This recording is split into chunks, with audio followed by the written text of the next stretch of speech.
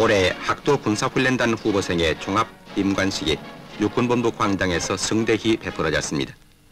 새로 소율에 임관된 이들은 자주국방의 일선에서 맡은 바 소임을 다하게 되는데 이날 임관식에서 영예 대통령상은 광주수선대학교 출신인 이수원 소위가 차지했습니다.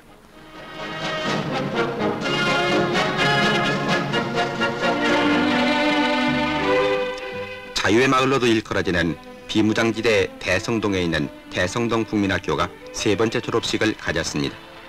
분단된 국토의 서러움을 다른 어느 곳보다도 더욱 절실하게 느끼는 이곳 대성동에 처음 학교가 생기기는 휴전 다음 해였지만은 지금까지 두 차례밖에 졸업생을 내지 못했습니다. 재학생 32명 가운데 올해 6명이 졸업을 했는데 이들은 모두 중학교에 진학하게 되었습니다.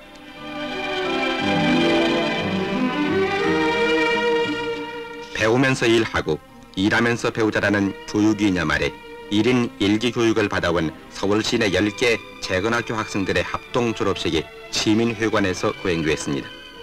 자주적인 생활 능력과 민주 국민으로서의 자질을 갖추기 위해 가난과 무지를 딛고 일어선 이들 졸업생들은 정녕 희망에 사는 모습이 아닐 수 없습니다.